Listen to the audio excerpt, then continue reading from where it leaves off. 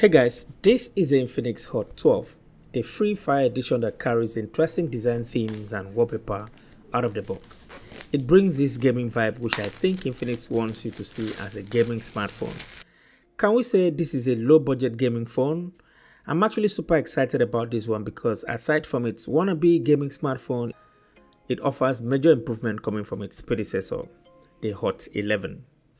The unit that I have here comes with a MediaTek Helio G85 octa-core CPU, 4 gigs of RAM that can be expanded to 7 GB through memory fusion technology.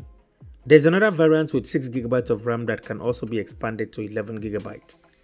An impressive 5000 mAh battery bundled with an 18 watt fast charger.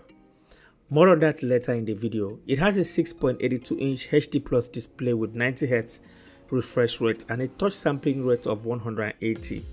Surprisingly, it comes with the stereo speakers for immersive sound quality. The Hot 12 comes with Android 12 out of the box, which is a first for any Infinix smartphone. And I pray it doesn't die with it. You get what I mean? Bettered with Android 12 and buried with Android 12. Ah, it's actually a fashion for Infinix. Okay, so before we begin, let's start with the unboxing experience. Opening the box, the first thing you see is a smartphone wrapped in plastic that carries major highlights of the device. The color have here is called Origin Blue and I think it looks awesome but more on that in a minute.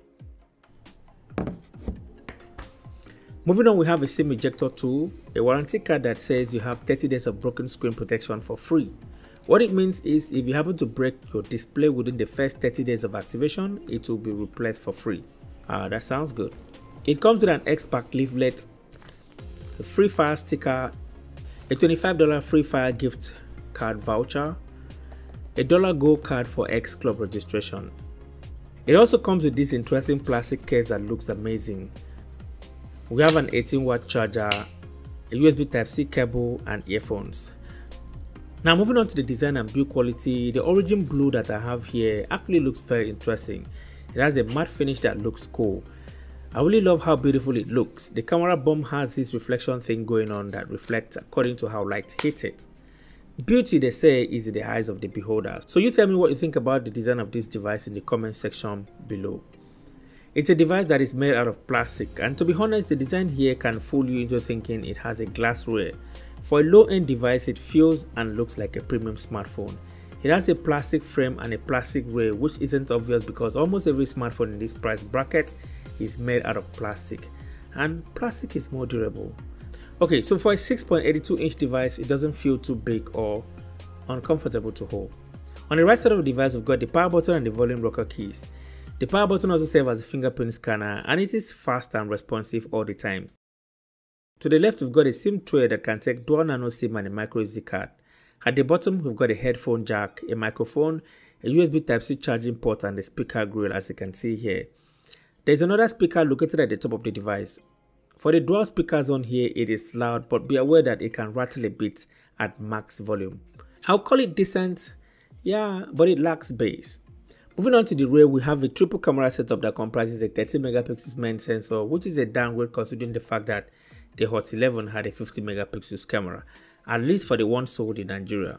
There's a 2 megapixels depth camera, a VGA camera and a quad flashlight. To be frank, those extra two sensors don't really count that much. What really matters is the 30 megapixels main sensor, which we're going to talk about later in the video. Moving on to the front of the device, you have a 6.82 inch 720p display. It is a punch hole style that houses an 8 megapixel selfie camera.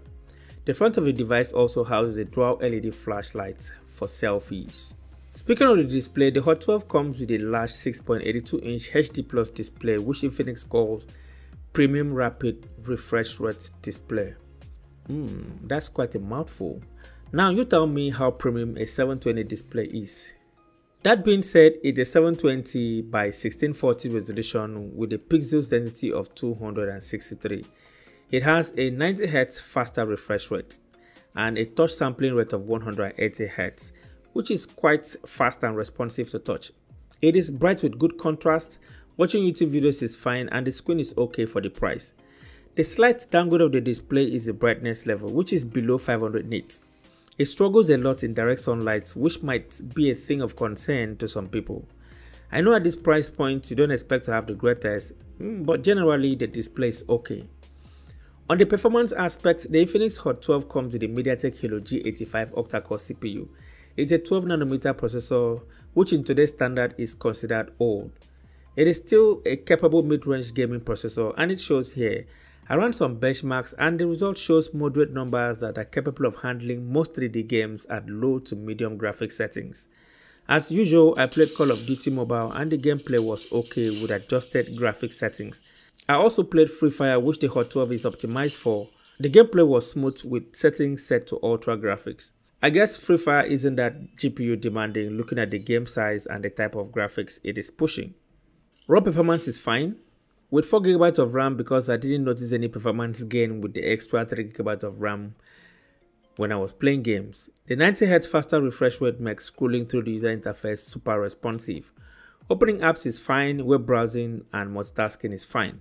With the help of the extra RAM or memory fusion, the Hot 12 was able to retain more background apps while still running smoother. Android 12 is what comes with the Hot 12, but with a new custom software which Infinix calls XOS 10.6. It comes with some new features and the user experience is just as we saw on the Infinix Note 11. A swipe to the top right corner reveals a quick settings panel, then a swipe to the left reveals the notification center we also have some app group folders for different apps. The settings menu also sees some UI changes which look similar to what we've seen on Xiaomi smartphones. Bloatware is still present but not as intrusive as it used to be in the past. You might want to do a little bit of housekeeping by uninstalling some of the unwanted apps for a much better experience.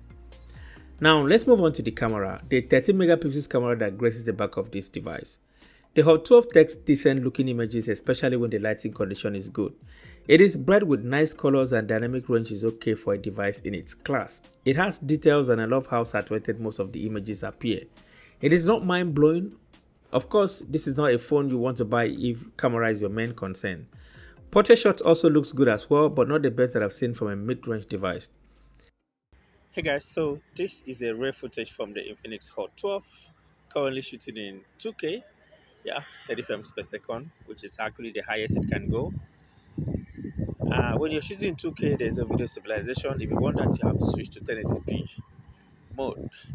Uh, what do you guys think about the video quality here and the audio quality? Kindly let me know. All right, let me know down in the comment section below.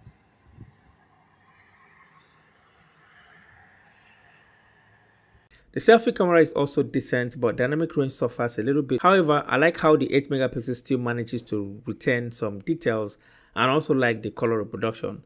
Kindly go through the images and tell me what you think about it in the comment section below.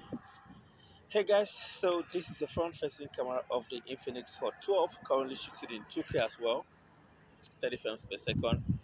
As you can see, it's struggling when it comes to dynamic range, uh, but it's trying for a mid-range device. I can't really fault it that much. Uh, I think the footage looks okay. But what do you guys think about it? Let me know down in the comment section below. One of the highlights of this device has to be the 5000 mAh battery on here that is very reliable and decent. It can comfortably last the entire day if you're an average user. To be frank, battery is not an issue here. And for charging, the 18 watt fast charger did well for a budget device. It took the Infinix Hot 12 1 hour and 45 minutes to charge from 0 to 100%, which is somewhat okay and impressive, but it is still below what other brands offer at the same price. Speaking of the price, the Hot 12 goes for 93,500 Naira or $170 for the variant that I have here. The most selling point of the Hot 12 is the Helio G85 gaming processor, a sleek design if you care about that and the expandable RAM. You get an impressive device with an impressive performance, a respectable battery life and Android 12 out of the box, which I pray gets an update to Android 13. Let it not die with Android 12. In Jesus' name. Say amen in the comment section.